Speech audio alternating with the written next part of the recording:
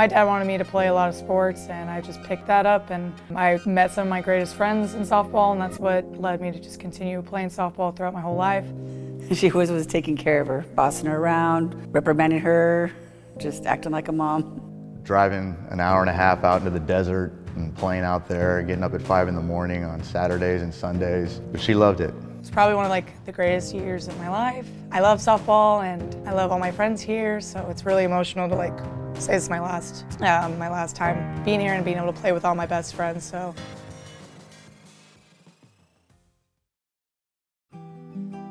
I first started playing softball when I was around five years old. I didn't only play softball, I played soccer growing up. So I started out soccer when I was about three to four. They were in sports starting at three with the Mommy and Me Soccer, which my husband took her to. It was a soccer league and I ran around with uh, her and all the other kids and all the other moms. So it was, it was pretty fun.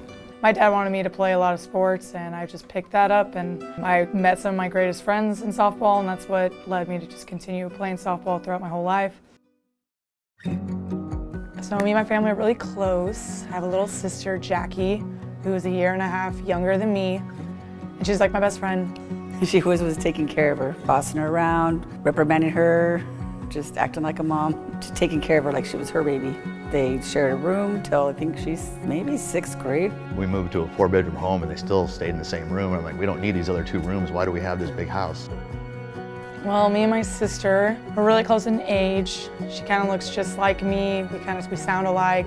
We're both opposite, like we both have different personalities. We mesh so well together and we're just best friends.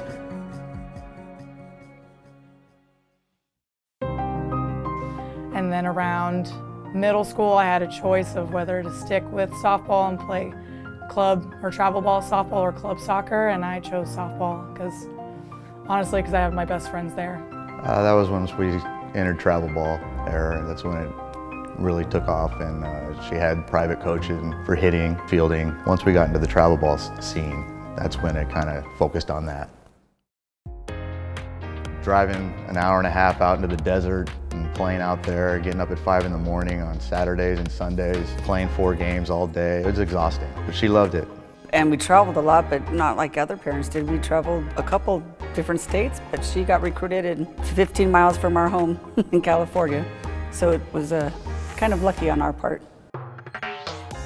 Coach came to look at one of our pictures but was there and saw Vicki, and she said, I remember her writing me a letter. So she remembered the name, and then she just started, by chance, she's, she was on that team that the coach was looking at for a pitcher for a different college, and there Vicki was, and from then on it was Bradley. and when she was watching my teammate pitch, she saw me play second base, and that's how she got me in the recruiting process and followed me along the rest of the summer.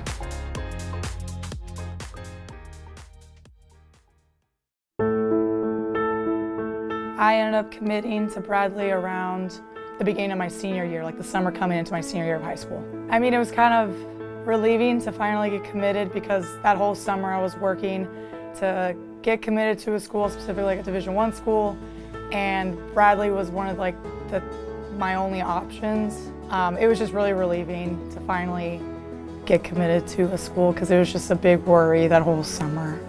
She liked it here. She liked being far enough away. She liked it to be in Division One. She liked it being a smaller school. For her education-wise, it was a good major for, for her school for her major. And she just liked the whole size of it. She, she didn't get lost in the shuffle when, like in the classrooms. So I think that was a big selling point. My first year was probably the hardest without my sister.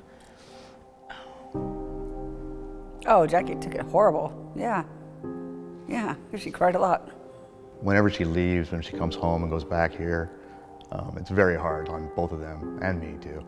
Tears are cried for hours after she leaves, so it's tough. Um, I missed my sister probably the most because I was always with her every single day. I mean, I hung out with her every second of the day, so that's probably why it was like the hardest to be away from her.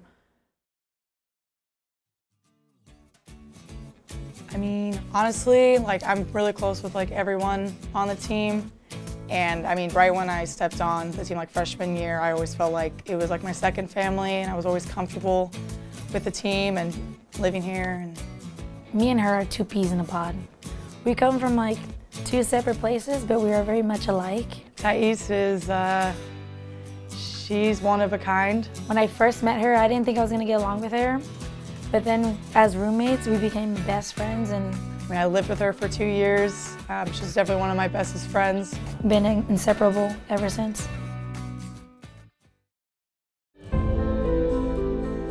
They came a lot when we were in preseason traveling the years before because we were able to travel closer to home, like we've been in California a lot, New Mexico, just places where it's easier to travel. The past three years, I, I think we, we didn't miss really any tournaments. We were, we were going to mostly all of them, seeing her pretty much every other week. Nice job, Vicki! I had a half year left for my diploma. I never, I never finished college. So I'm very proud of her. I'm very proud of her. She took this whole time. She came all the way out here on her own. She did this all by herself. So I'm, I'm very proud. In, in my words, I would say she kind of went in as an athlete and she's coming out as a student because she's been on that, is it the Dean's List? The last four semesters in a row. I mean, so she's coming, she's coming out a student. I'm very proud of her. She's straight A's. It's probably one of like the greatest years of my life. I love softball and I love all my friends here, so it's really emotional to like say this is my last, um, my last time being here and being able to play with all my best friends. So, yeah. God. Okay, I'm fine.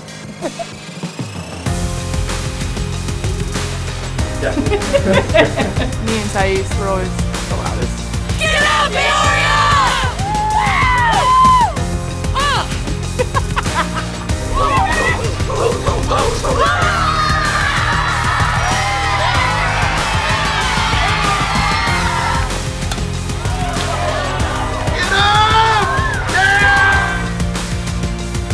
And. Totally worked out. Great job.